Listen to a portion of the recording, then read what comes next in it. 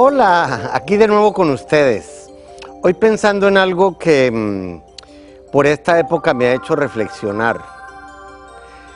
En este canal comenzamos a trabajar desde cuando se fundó el canal. Somos el único programa original que queda aquí. Eso nos, que nos da a entender que hemos sobrevivido porque ustedes nos han llevado en el alma, nos han guardado allí y todavía estamos en el alma de ustedes. Y eh, de eso trata el programa de hoy, del alma. ¿Qué es el alma? ¿Dónde queda el alma? Al fondo a la derecha, el alma pesa, el alma se puede ver, eh, almas desencarnadas. Pues bien, para mí el alma, voy a tratar de describírselos de una forma muy clara. Todos tenemos cuerpo, alma y llamémoslo espíritu. El cuerpo pues lo vemos, ¿no? El espíritu vendría a ser como la energía con la que nos movemos. Pero el alma, hay una forma muy fácil de comprenderlo. Imagínense ustedes un teléfono. El teléfono es el cuerpo, uno de esos celulares que tienen, el cuerpo. Cuando lo conectan o la pila, sería el espíritu, la energía. Pero ¿cuál será el alma? ¿No será la SIM card? Porque uno quita la SIM card del teléfono y la puede poner en otra. De ahí viene que son almas encarnadas.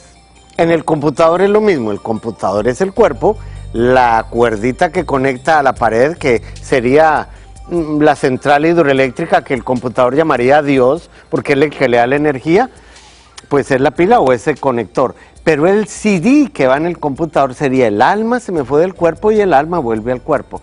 Parece que el alma es entonces aquello que continúa con la información. Mm, a eso vino el, alma a este planeta o a este cuerpo, a recordar aquello que se nos olvidó. ¿Y qué se nos olvidó a todos nosotros? Se nos olvidó quiénes somos. Por eso es que en astrología estudiamos el alma donde tengamos la luna. ¿Por qué? ¿Por qué vemos la luna? Porque el sol refleja su luz en ella, ¿cierto? Y si el sol fuera la energía y la luna fuera el alma, sería algo así como un poco religioso, como si el creador, que es el sol, se reflejara, se reflejara en sus almas, que es la luna, y por eso vemos la luna. Según la fase lunar en la que nosotros hayamos nacido, ahí va el grado evolutivo de nuestra alma, y son ocho fases lunares. Qué curioso, los mismos ocho caminos del Buda. Cuando uno investiga en estos temas, se encuentra con cosas como las que miren ustedes en el siguiente video que les traigo. Y ya regreso porque con el alma no he acabado, claro. No se vayan, miren esto. Pero, ¿dónde está el alma? ¿Dónde está guardada? Si Descartes estaba equivocado, si no había espíritu y todo era materia, los males del alma serían necesariamente físicos. En la búsqueda del alma, para las culturas antiguas, los sacerdotes extraían el cerebro de los cadáveres cuando preparaban el viaje al más allá, y sin embargo dejaban intacto el corazón porque creían que era el motor de la vida y que probablemente ahí residía el espíritu. En el antiguo Egipto creían que el corazón era el centro de la vida y por lo tanto el alma residía en el corazón. Algunos teólogos y filósofos pensaban que el alma estaba en el corazón y otros entre ellos los primeros grandes científicos, opinaban que el alma residía en el cerebro. Así que, al parecer, el alma se hizo carne. Carl Zimmer es un divulgador científico y autor de varios libros. Zimmer nos comenta para este programa su opinión sobre el alma. Nos dice Zimmer que Thomas Willis, médico inglés de la Universidad de Oxford, en 1646, con su revolucionaria teoría, él fue el primero que advirtió que todo estaba en el cerebro. Willis tal vez fue el primero que afirmó que el alma es carne y que está en el cerebro. Sin embargo, él no fue perseguido por sus ideas, como ocurrió con otros. El caso de Thomas Willis es distinto, porque él tuvo la precaución de dejar espacio a la noción cristiana del alma. Él mismo era un cristiano tremendamente devoto y no cuestionaba los conceptos básicos del cristianismo, según Zimmer. ¿Y usted? ¿Dónde cree que está el alma? ¿Cómo reforzamos el alma? Miren, ustedes y yo tenemos un cuerpo físico que nos dieron para movernos aquí. Este es un modelito 50 convertible, muy bien. aquí en este, con este vehículo, la energía se manifiesta a través de él. Pero tenemos que reforzar el alma. ¿Cómo hacemos para que ese cuerpo astral, que es quien sale de, de este planeta, porque el cuerpo físico se queda en el cementerio, ¿cómo hacemos para reforzar el cuerpo astral que viene a ser como el vehículo del alma? Muy fácil. Cada vez que ahorramos energía, no deprimiéndonos, no explotando el mal genio, mm, sin perder la, la fe en sí misma, esa energía que no se la estamos dando a la bestia, que es el ego, pues la va recuperando el alma o el cuerpo astral para reforzarlo en el momento de salir.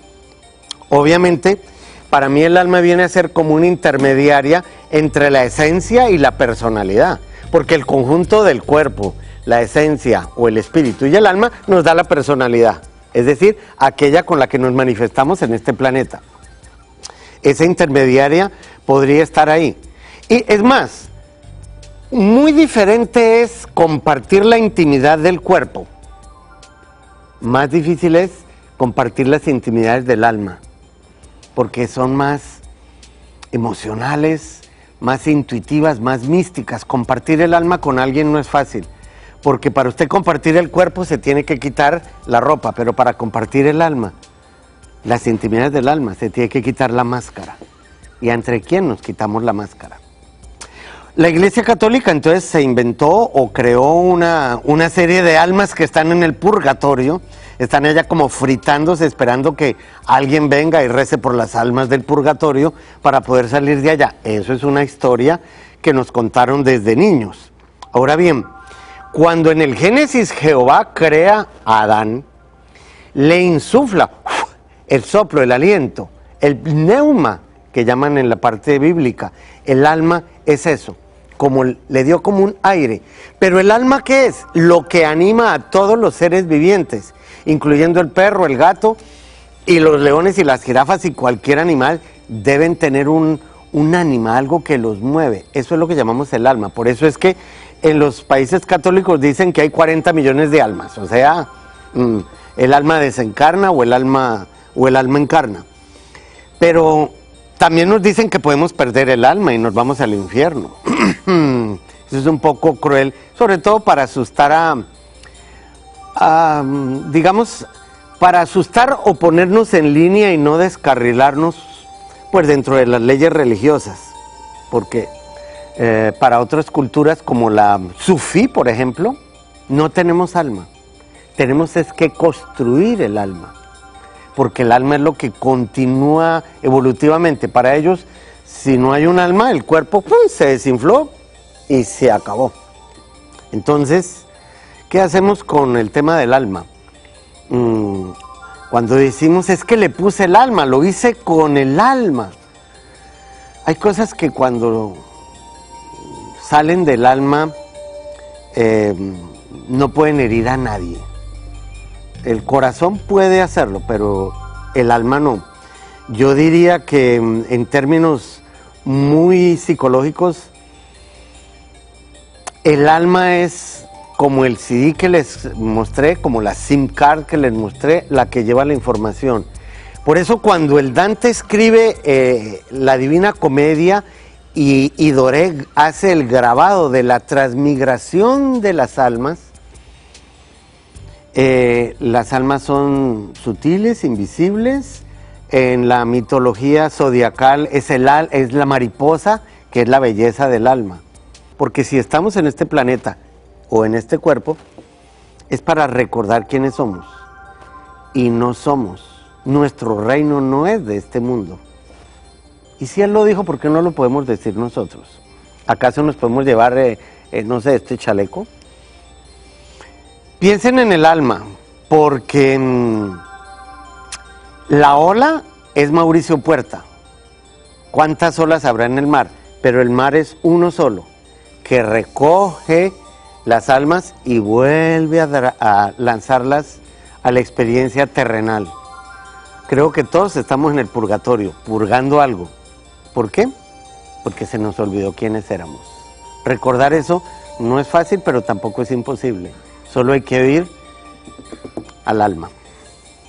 Ya vuelvo.